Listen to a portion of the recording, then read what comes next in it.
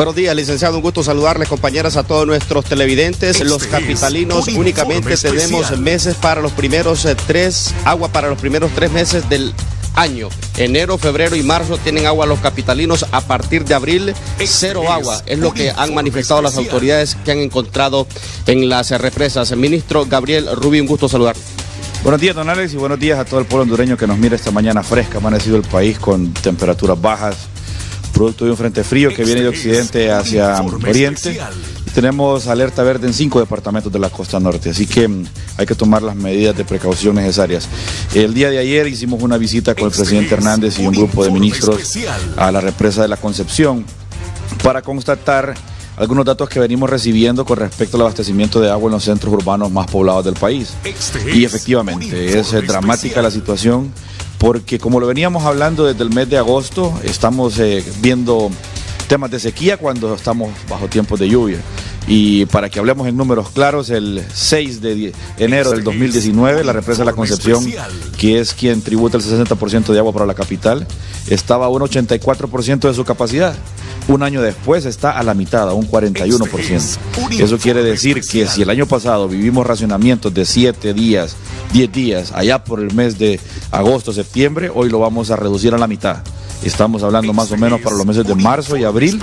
Eh, y si el, verano se prolonga y las lluvias empiezan otra vez en junio, julio, la situación va a ser completamente drástica. Así que el día de hoy nos reunimos, el presidente Hernández nos ha pedido que a las seis y media de la mañana tengamos una reunión eh, junto con eh, el Sistema Nacional de Gestión del Riesgo, que lo componemos varios ministros y la sociedad civil también, para que pongamos medidas claras, de, también eh, un plan de trabajo en cuanto a la reforestación, el tema de gorgojos, incendios, que es algo que se provoca también por la sequía. ¿Cuáles son los temas de agenda?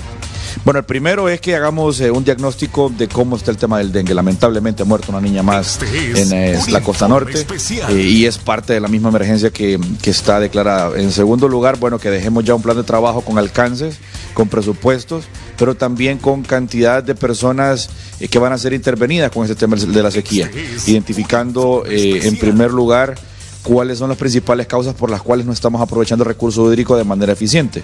En segundo lugar, identificando también el parque vehicular que se dedica tanto a vender como a proveer de manera gratis agua en los centros urbanos, porque hemos visto que están cobrando 1.500 hasta 2.000 empiras por tener acceso al agua y eso tampoco puede ser.